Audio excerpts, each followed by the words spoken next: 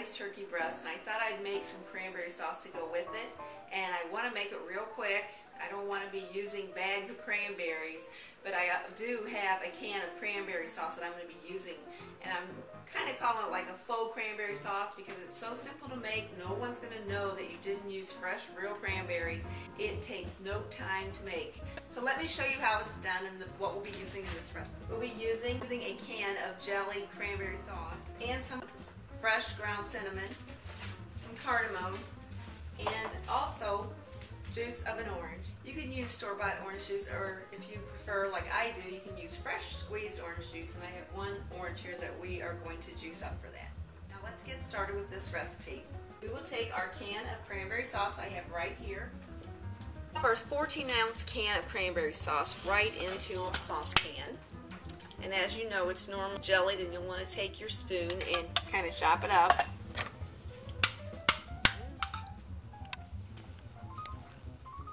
Turn your burner onto a low heat. We'll heat our jelly cranberry sauce for about maybe two to three minutes. Most of the time when you go to someone's home, they usually take a can of this jelly cranberry sauce, they open it up and they just stick it on a plate and have it there for you to eat. That's why I'm showing you how to make a yummier cranberry sauce that everybody's gonna love.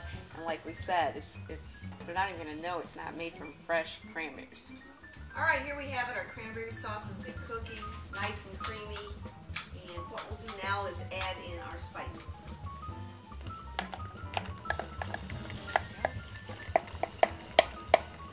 Okay, in goes our half teaspoon of cinnamon, our dash of cardamom,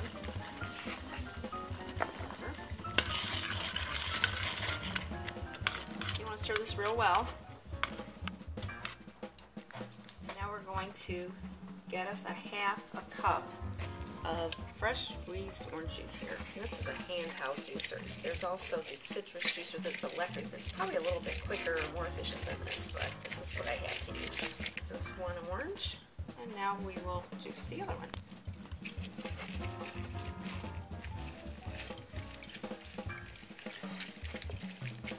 This is a juicy one. most of the time I don't have a lot of pulp in mine. If you want some pulp in there, you're welcome to do that. We have, we're going to add a quarter of a cup of orange juice. There it is. And now we'll pop our orange juice right into our pot here. And those are a quarter cup of orange juice. And to that, we'll add just a pinch of salt. And now we'll bring, now what we'll do is bring this up to a warm temperature and we'll be all done. Back onto a low medium heat. Stir. Mmm, smells wonderful. Perfect. Just going to pop it right into our dish here.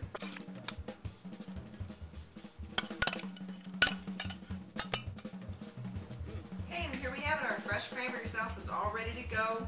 It is delicious. So I hope you enjoy serving this with any type of turkey you have or any type of pork. It goes wonderfully. So thank you for watching and have a great day.